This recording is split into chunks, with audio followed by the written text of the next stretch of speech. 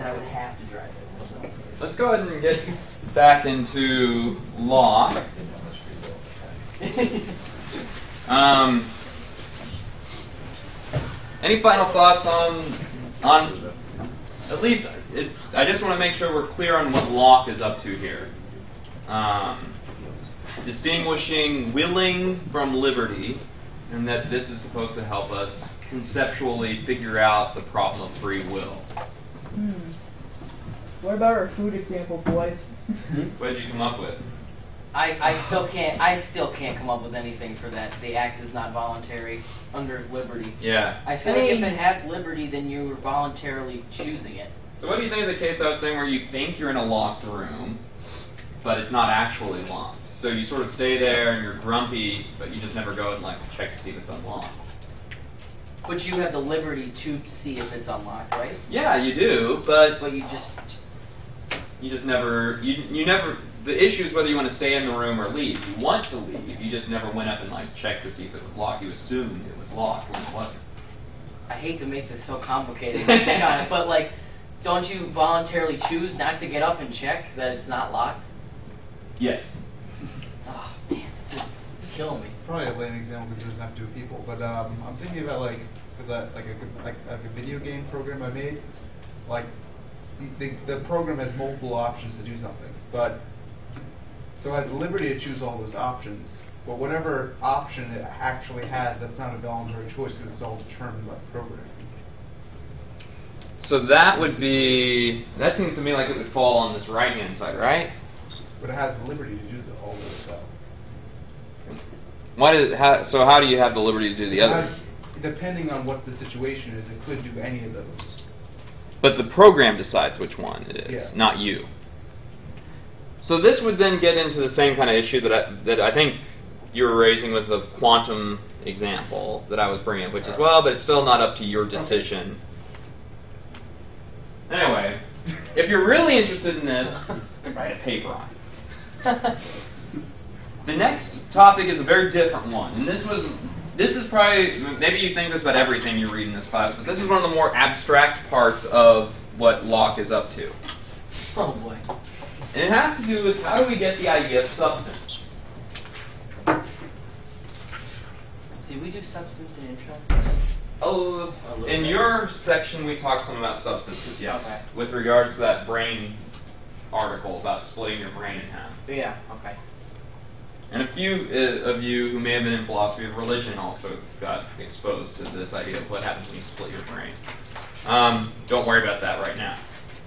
Um, this whole issue is really important for Locke, for one, because he believes there are substances.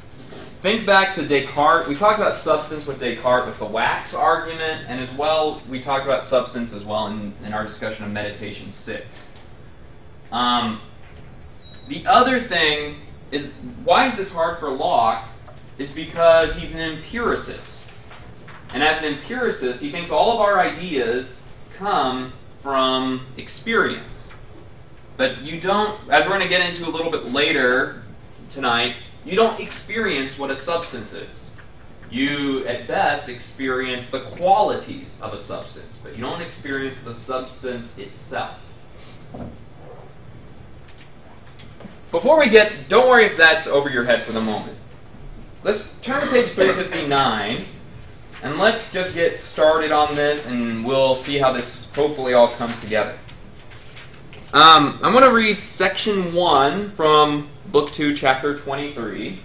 Um, and what I want us to think about as we read through this section is what reasons do, does Locke give for us to believe that substance or substratum exists? He says, The mind being, as I have declared, furnished with a great number of the simple ideas conveyed in by the senses as they are found in exterior things or by reflection on its own operations, takes notice also that a certain number of these simple ideas go con- constantly together, which, being presumed to belong to one thing, and words being suited to common apprehensions, and made use of for quick dispatch, are called so united in one subject by one name. This inadvertence we are afterwards to talk of and consider as one simple idea, which indeed is a complication of many ideas together. Because, as I have said, not imagining how these simple ideas can subsist by themselves, we accustom ourselves to suppose some substratum to which they do subsist and from which they do result, which therefore we call substance. So why do we believe in substance? What are some of the? He, there's at least kind of two trains of thought I see in here. Um, they might actually ultimately maybe be one and the same thing. But what are some of the considerations that he gives for why we should believe that there are substances or substrata?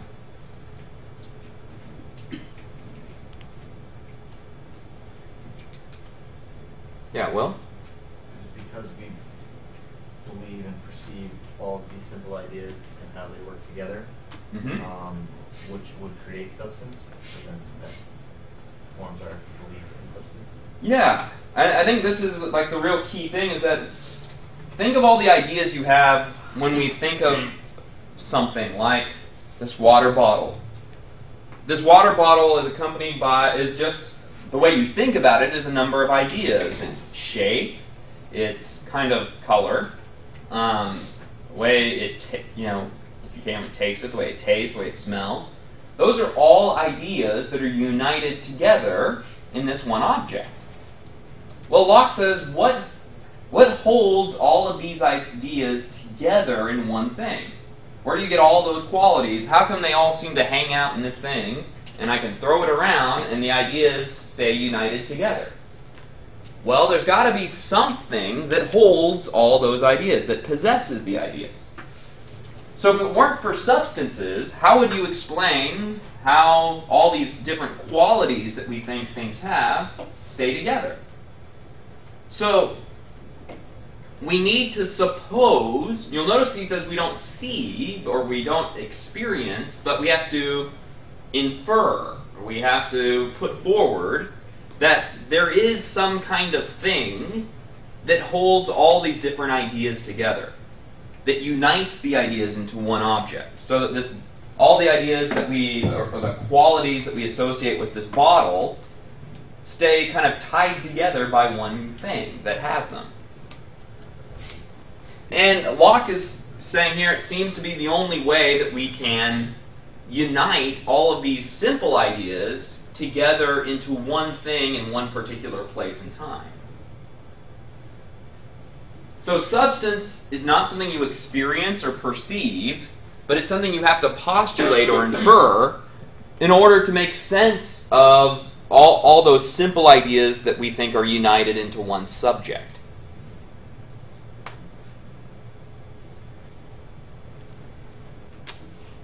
Now, so this then raises the question what is this idea of substance?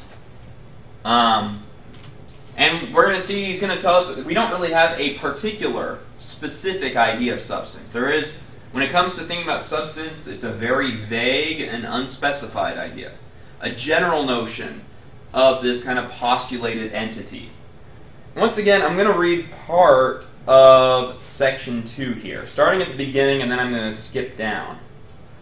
Um, so this is section 2 on 359. He says, Thus, if anyone will examine himself concerning his notion of pure substance in general, he will find he has no other idea of it at all, but only a supposition of he knows not what support of such qualities, which are capable of producing simple ideas in us. Skip down the bottom like five lines of that on that page. He says, and thus here, as in all other cases where we use words without having clear and distinct ideas, we talk like children, who being questioned what such a thing is, which they do not know, readily give this satisfactory answer, that it is something. In truth, this signifies no more when so used either by children or men, but that they know not what, and that the thing they pretend to know and talk of is what they have no distinct idea of at all, and so are perfectly ignorant of it and in the dark. The idea, then, we have, to which we give the general name substance, being nothing but the supposed but unknown support of those qualities we find existing, which we imagine cannot subsist, sine res substante, without a substance, without something to support them, we call that support substantia, which according to the true import of the word is in plain English standing under or upholding. So, Locke is saying we need to come up with something that has, that holds, that stands under those qualities that, that are in objects. Once again, otherwise, what would, how do you get all these qualities united into one thing? How come they don't fly apart? How come they stay together when, you know, over time? There needs to be some substance that holds qualities. Now, you need to also remember that substance itself cannot be another quality. If substance were another quality, like a substance itself was just extension or solidity or something like that, this would lead to an infinite regress. Because then you'd have to say what holds the extension or the solidity? Another substance. And if that is just another extension, you say, well, then what holds that? And so on. You need to have something that's not a quality to end the regress. Oh, because if you say all qualities require a substance, then whatever, uh, then you can't define substance as being another quality. So ultimately, what is a substance? He says it's something we're not sure of. It's th- that part I, the second part I read, where he's saying, you know, it's like when kids don't know what they've just experienced. You say, hey, what, you know, what caused that? And they say a something. Well, that's not really informative. Well, in a way, that's all Locke can say what a substance is. You ask Locke, what is a substance? He's going to say it's a thing. Well, tell me more about it. I, I can't. I don't know any more about it. All I know is there's got to be some substance, something that has qualities, because if there weren't a thing that had qualities, then you wouldn't be able to explain how ideas and, and qualities, say, united together in one thing. Yeah. On the third bullet, why exactly is having an infinite regress bad? Well, because in this case, there's a dependence relation. We think the qualities depend on the substance to continue to exist, to, to sort of have their being. So if you say that, well, if it just goes on infinitely, you never get to the bottom of, of this chain of dependence. Sort of be like if I had a paper clip that was suspended by another paper clip. It's one thing if I can say there's something that's not a paperclip, like my hand holding it up, but if I just say just this paperclips infinitely, that doesn't explain how this thing is hanging here. So if substance is supposed to be the reason that explains why the qualities exist, it can't just be qualities all the way down.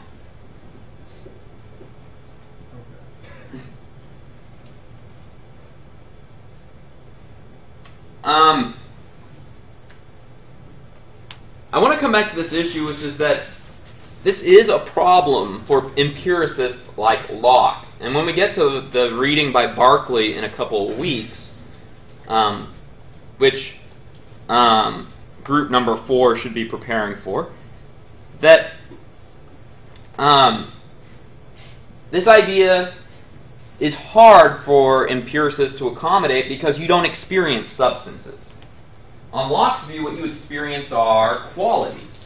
Like you experience the color, the shape, the you know, the solidity, the sound, the taste, the, but you don't experience the substance as it is in itself.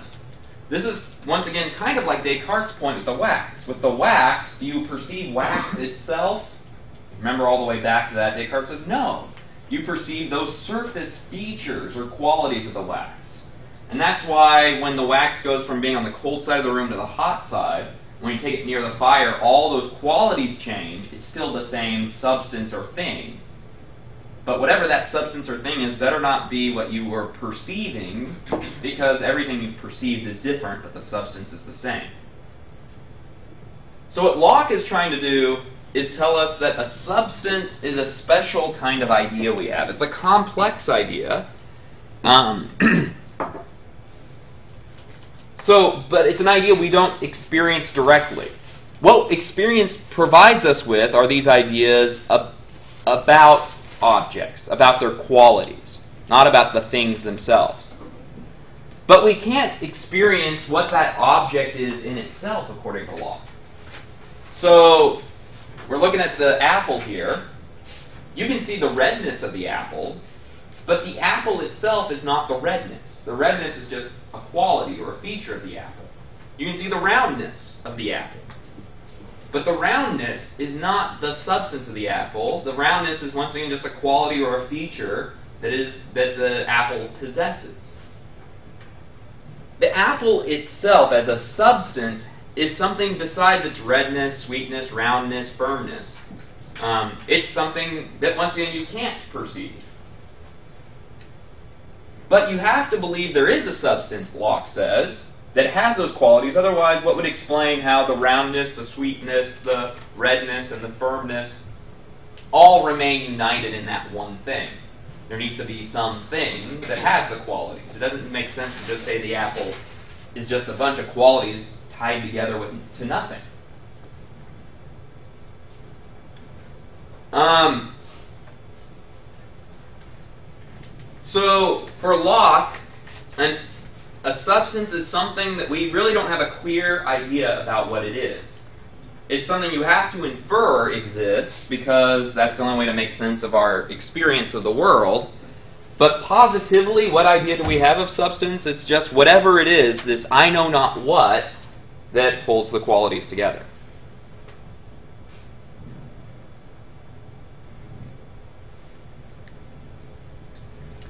Locke wants us to, since we don't have a direct experience of substance, substance is a complex idea. If you remember, simple ideas are those ideas that you get through experience, like just a basic color concept, like the concept of red. Red is a simple idea. Substance is not a simple idea. It's the way I put it with the apple is the apple is that thing, whatever it is, that is the cause of my ideas of sweetness, roundness, firmness, redness. The way that this is a complex idea, it's just it's this combination of ideas, of the cause, of the holding of, of these qualities. we don't, as I was as I've said a few times, we do not have a simple idea of substance because we have no direct experience of substances. What do you have direct experience of? The qualities. But the qualities are di- distinct from the substance itself. Um, in the passage we read, and in other places, he emphasized that substance is what stands under the qualities. It's the thing that holds the qualities. It's the thing that gives the quality, the, the, those qualities, their reality. And the relationship between qualities and substance is a dependent one. That the qualities, ex- the, the existence of those qualities is dependent upon the existence of their substances. So the qualities exist because the substances exist, but not vice versa.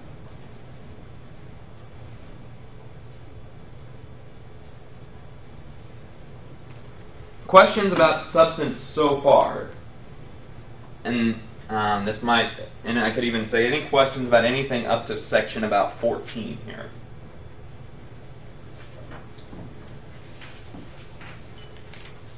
Yeah. I don't know if we went over this or not, at, um, if we touched on it, but did he, did Locke believe that these substances had extension, or? were Mate- they- Good. This is the next point then, is talking about material and immaterial substances. So, there are different kinds of substances. There are bodily substances, which are things that are extended, figure, and figured, and capable of motion. So in Descartes' metaphysics, material substances. And then there are spiritual or mental substances. And these are things that are capable of thinking. He has a lot to say about this in sections 18 to 20 of the reading. Now, here's the kicker for Locke.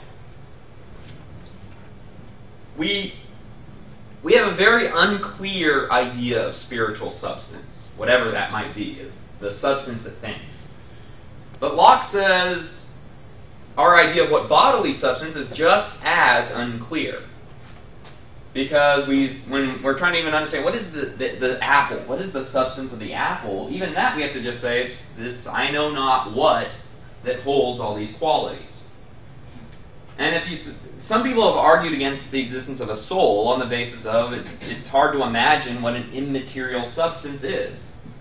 And Locke's response that he gives to this several times in our reading is that, well, if you think that's an argument against the soul, that's an argument against material things too, because we have a very hard time even understanding what a material substance is. Now, Locke was the one that said, uh, is, it, is the reason that he's leaving this so vague, I guess, like that there's not a clear explanation, is because wasn't he the one that said we have like limits to our knowledge and some things we just don't need to, or we'll, we'll never be able to answer, so we should just leave them for what they are? That's right. So he's got, in some ways, a kind of humble view of the limits of human reason. So he's going to say, we just may not be able, I mean, in principle, it's just beyond human capacities to know what substance is. And as a result of being kind of admitting there's this lack of clarity and distinctness about our understanding of spiritual and bodily substances, he's agnostic about the mind body relation. So, if you were to ask Locke, are mind and body two separate substances? He would say, I don't know. They might be, they might not be. But he's quite open to the possibility that matter could think. Whereas Descartes did not think that was even possible. And I, I would say Leibniz as well, that they would both say that the that matter doesn't have the capacity to think. Like that's just incoherent to think matter is a thinking thing. But for Descartes or for Locke, he says, I can imagine matter having thought in it. Um, this kind of goes back to that part from last week where Locke was saying, I, I don't think the mind always thinks. I think it's possible to go in for when you sleep, for instance, to have no thoughts at all. If Descartes thinks that the essence of the mind is to think, then in order for the mind to exist, it has to always be thinking. If it stops thinking, it stops existing. Locke is going to say whatever the mind is, it could be a separate substance, like an immaterial soul, or it could just be a part of the body, it could be part of your brain. That that's just one power that the the spirit has. That it's just one power, and that the mind may be, have other powers with it as well. Did Locke ever touch on this, the uh, Leibniz subject of the monad? Like, did he, what did he think about that? I don't know offhand. Um, I know, so I do know Leibniz had a lot to say about Locke. I don't know if Locke had a lot to say about Leibniz.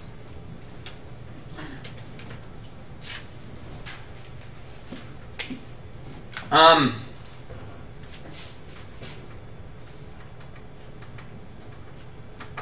in this section is where he does bring up how we come to know what kind of thing God is. Why it kind of feels weird, like right, where did this come from? We're talking about substances, and all of a sudden, God.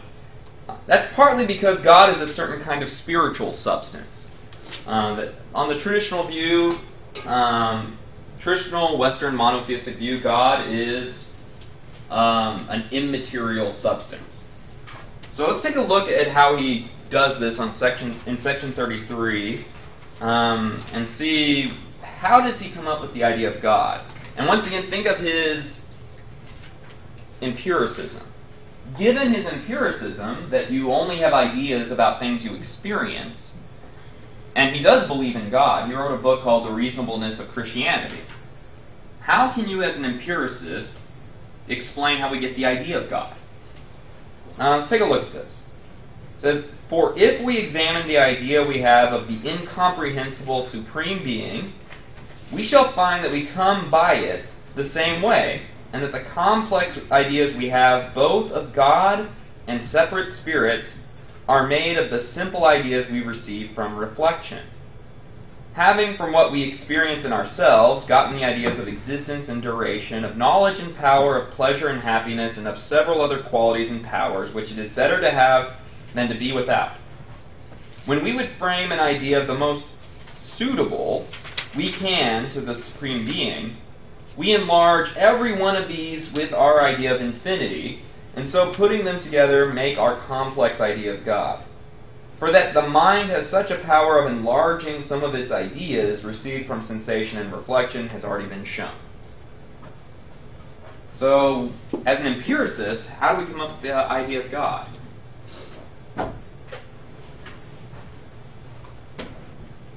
Yeah, Zach and Will's on deck. Um, is it taking all of the experiences of happiness, pleasure, and all, all the kind of the simple experiences that we take and kind of combine that into a complex idea of what we think God would be like?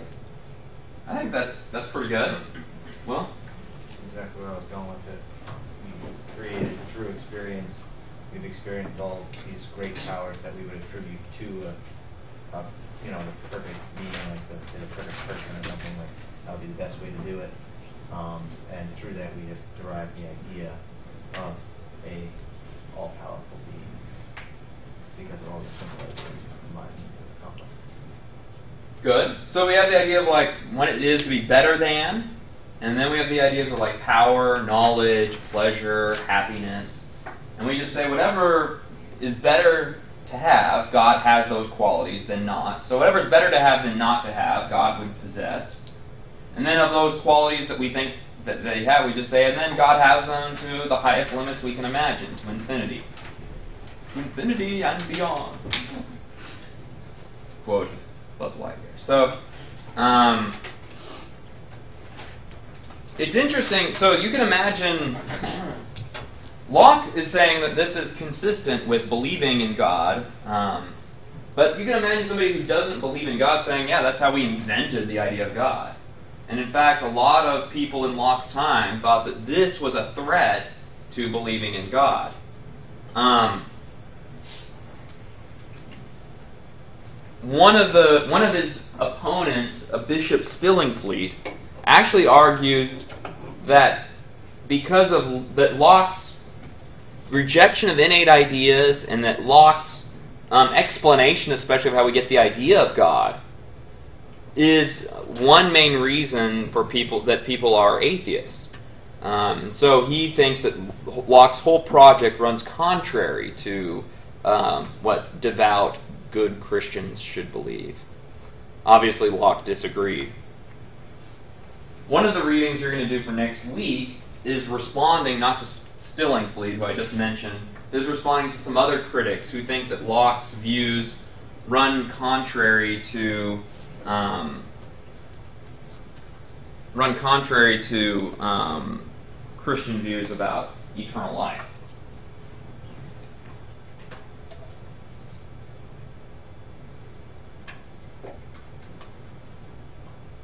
Any questions about what Locke is doing in this section on substance? Yeah. What would uh, be other examples of immaterial substances? Maybe would be an angel. So, if, like angels exist, they're not material beings, but they're still, you know, immaterial substances.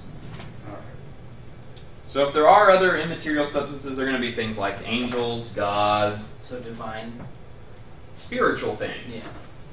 You know, if you have a soul, soul. Yeah. So, like, I know it's completely not derivative, but like, what about like Platonic objects? Would they be immaterial substances? Those generally are not thought to be substances at all. Alright. So substances refer to particulars. Alright. And in fact, we call, we, it sounds strange to talk about immaterial things this way, but they would be concrete particulars.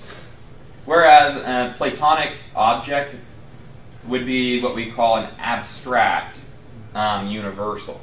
Alright.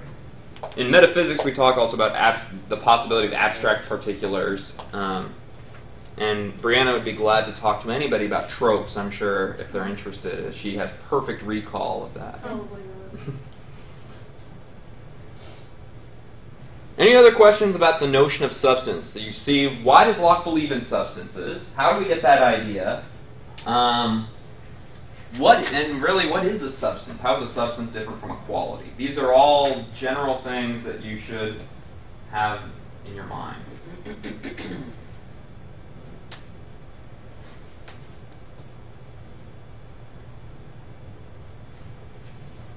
so this is what I want us to do in the last parts of class here. Um, why don't we get together in, in groups and I'll tell you what, just do them with people at your table, at your kind of nearby tables. Get into groups of two or three people. Um, and answer these four questions that take us into that, the next part of the reading. So, uh, I believe that this starts us off on page 370, is um, where you'll see section 9 begin here. And have somebody in your group take down your answers, and as we have time, we'll see if we can start answering them all together.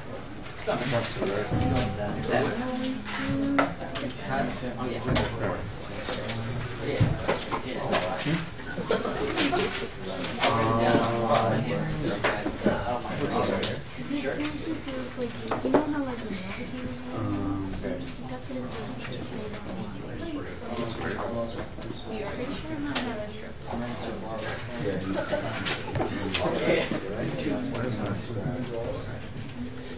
Yeah.